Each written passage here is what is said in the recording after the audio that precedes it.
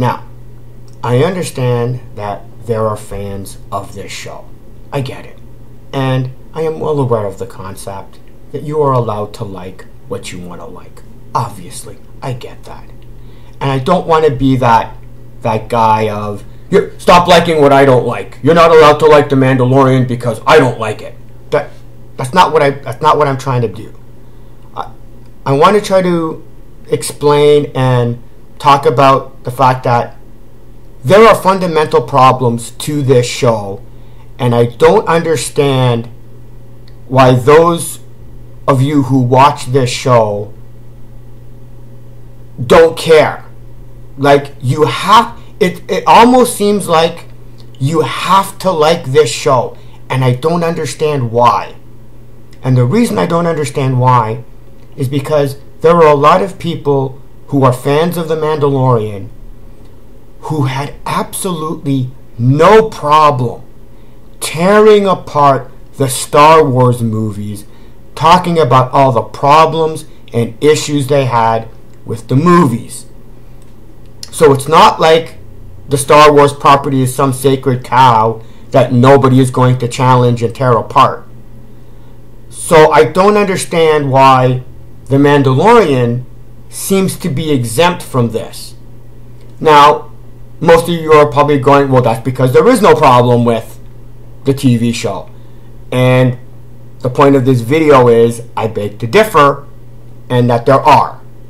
Now, one of the main problems with the show is I make fun. I've made videos on uh, each episode of The Mandalorian talking about and pointing out and laughing at all the stupid in the show.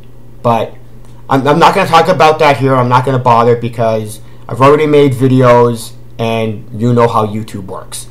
So if you're interested in watching it, you know how YouTube works.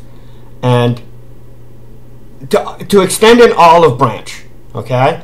I'll even establish th- those are things that I consider stupid. Okay, uh, even if we were to take out the fact that all the things that I consider stupid out of the show that you as fans don't consider stupid, even if we were to eliminate that, there is still a basic fundamental problem with this show. And that is it has no plot. It has no story. It has no story arc. It has no direction. It has no idea where it's going. Now, a lot of you are saying, uh, hello, the show is quite obvious. It's about the Mandalorian protecting Baby Yoda. And it's like, you know what? You're right. And if that's what the show was, and that was its base premise, and that's all it was about, then this fine. But the problem is, that's not what the show is about. Because in the first two episodes, it establishes the very reason Baby Yoda being in the show is supposed to be the story. That's supposed to be the plot.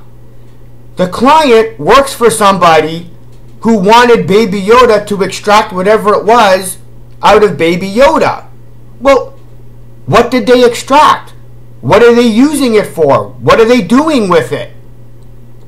We're already in episode 5 of an 8 episode season, and this show hasn't even bothered talking about it, discussing it, teasing it, covering it, anything.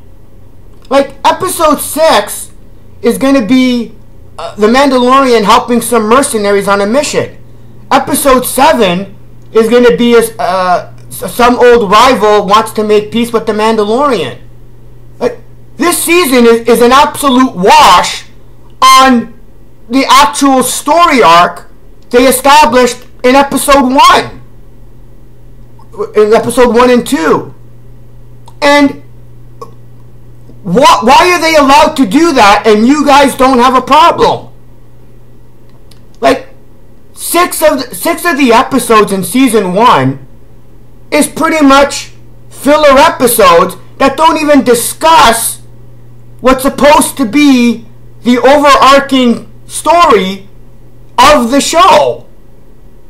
And you guys are, and, and, and nobody seems to have, and nobody seems to be willing to go, uh, hello, Disney, can we like talk about the guys that wanted to that want to kill Baby Yoda that have the that, that extracted whatever it was? What are they doing with it? What's going on? No, you seem to be absolutely content with the Mandalorian just going from planet to planet, going on missions, and never even talking about who, you know, extracted whatever they got from Baby Yoda, or even what they did with it, or what's going on. And I don't understand why. Like, why can't you call out this show for ignoring what was supposed to be the plot of the show? The other problem with this show is what what what's the Mandalorian's plan? He he doesn't have one. and you're going, uh, yes he is. It's protecting baby Yoda. And it's like, okay, but how? Like at the end of episode like in episode 4, he was more than ready and willing to leave Baby Yoda on a planet because he seemed happy there in that village. It, if it wasn't for the fact that five minutes after he had he made this stupid ass plan that a bounty hunter showed up and almost killed Baby Yoda to reveal how stupid his plan was, it was like, oh yeah, that's right. He's got a tracker. There's bounty hunters trying to kill him. Leaving him on this planet is a stupid ass idea. And he ends up deciding I'm going to have to bring him with him and protect him. And it's like, okay, that's the story idea. That's the story arc. He's protecting Baby Yoda. But it's just nothing but episode after episode of him just wandering on planet to planet. At, at the very least, he has have his goal be try to figure out how to get rid of however the tracking device works on Baby Yoda because we don't know how the tracker works. We don't know how the tracking device works. Neither does the show. Like, why can't uh, bo- uh, the Mandalorian's overall goal right now be to try to figure out how to free Baby Yoda from the tracking fobs? Like, at least have that. At, least have it that uh, the Mandalorian is trying to is going to try and deal with wh- whoever wants to have Baby Yoda dead and stop it at the source. You kill the guy who wants to kill Baby Yoda. There's no bounty. The bounty hunters aren't going to go after Baby Yoda anymore. At, at least do that. This show isn't even giving a goal to even stop the bounty hunters from going after or being able to go after Baby Yoda. Because the show constantly needs bounty hunters to keep going after Baby Yoda so that the Mandalorian can keep having adventures from planet to planet.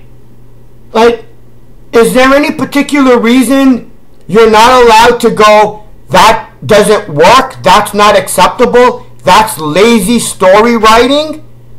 You guys had no problem talking about all the lazy story writing in the Star Wars movies.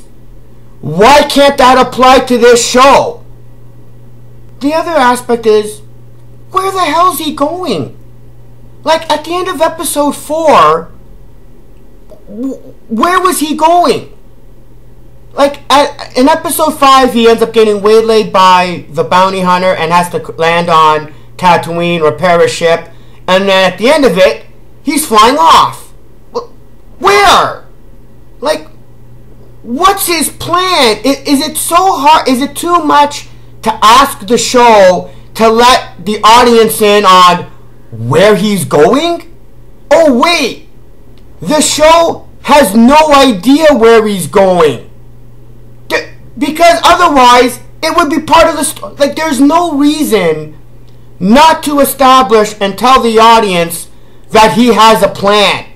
Remember when purple haired girl didn't tell Poe her plan, and all of you guys were absolutely pissed and called out how stupid it was?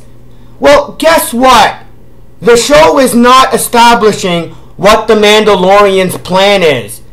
Why can't you guys call out the show of why can't you have the Mandalorian have a plan? Why can't we as an audience know what that plan is? Because as far as I can tell, he doesn't you're not going to know until season 2. Until when you oh, I don't know, have to renew your Disney Plus subscription for the full price. Like can we not call out how money grubbing greedy and and blatant Disney Plus is on this? I you have no problem, you know, like again, those of you who are fans of this show who have no problem calling out the movies and Disney for all the stupid ass like they they buy out uh, movie uh, seats to help inflate the, the the popularity of a TV show of the of their of the movies. Yet they're purposely making a show with episodes with 90% filler so that you'll have to renew your subscription for another month so or another year so that you can find out what happens in season 2 but that's okay there Disney Plus can do that and that's not a problem that's not something that should be called out I, it's not so much the problems of the show it's this inability of you fans for just saying Disney's allowed to do this and you don't have a problem? Like, are you that?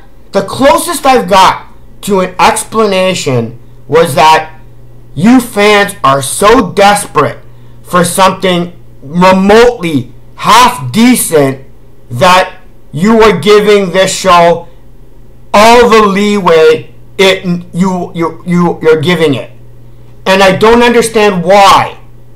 What we've already the clone the Clone Wars animated show was well done. Okay, it was enjoyable. You can do a good Star Wars TV show. So why can't you expect a good Star Wars TV show from Disney Plus? Uh, why do they get to give a substandard show and it's okay? I like I know no one's watching this video. I know people who are fans of this show aren't haven't gotten anywhere this far. But on the odd chance that you are a fan of this show and you hated the Star Wars movies, why do you have to like this show so much? Why do you have to defend this show? I it's an honest, serious question. Okay? You are so able and willing to trash the movies and calling them out for the garbage that they were, especially well, both of them, the, the Force Awakens and the Last Jedi. I, I don't understand why you can't do that with the TV show. Because by not doing it, you're, you're pretty much pointing out that you're either, again, you're either idiots for not caring how stupid this show is, or you're shills. You're actual shills for this, for Disney, which I don't know why you have to be, because it's not like Disney needs another shell. It, again, on the odd chance that those of you who are fans of this show and hated the Star Wars movies. Explain to me why this show gets a pass. I really don't understand why. Okay? Because it's a subpar, pathetic show that is nothing more than designed to. Like, with, uh, sorry, uh, Stranger Things. Okay? It was meant to be a one season show. It had a it had an established ending. It it, it wasn't meant to go. It wasn't meant to drag on like Game of Thrones. Okay? This show is literally meant to milk you as an audience for as long as possible. And it boggles my mind that you're okay with this and you don't have a problem. Uh, anyway, I've pretty much I'm getting into rambling territory, which I am oft, you know, to do. So, uh, I'm sorry. There are fundamental problems to this show other than the stupid, and I don't understand why you guys don't have a problem with it. Anyway, that's it for me. I'm out of here. I'm pretty much anticipating episode 6 and the Witcher series. Uh, I'm out of here. See ya.